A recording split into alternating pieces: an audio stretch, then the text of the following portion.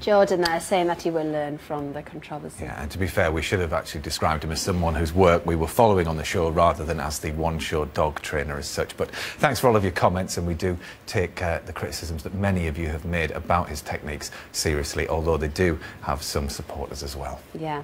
Now, Joe Inglis is a vet who's made films for the One Show, but Joe, you've made it very clear that you personally don't agree with Joe's techniques, do you? No, I don't agree with the techniques that were shown, particularly in that first film. Um, I mean, as this has shown, it's a very controversial topic. There's passionate opinions on both sides of the debate. Mm. And there are these two schools of thought. There's the dominance-based school of thought on training, which is what Jordan used in that first yeah. film. And then there's the reward-based positive associations counter conditioning type approach, mm. which really is based on a lot more real science, and it's become the consensual opinion against uh, uh, amongst most dog trainers and professionals over the last 20 years or so.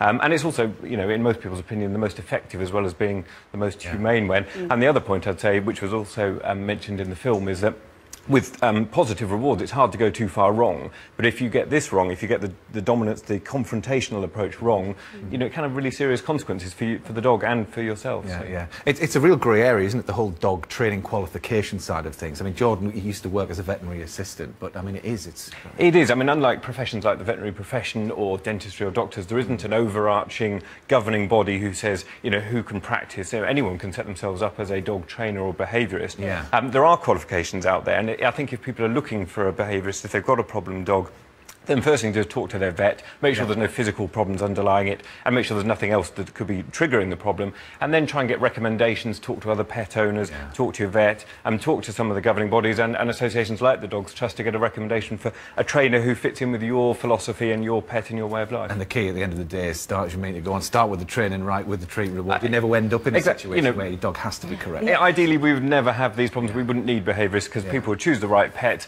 and they would bring them up properly with positive um, rewards to begin with with and train them, you know, in a good way from the beginning. But brilliant. Thank you so much, Joe. Thanks Brilliant. a lot.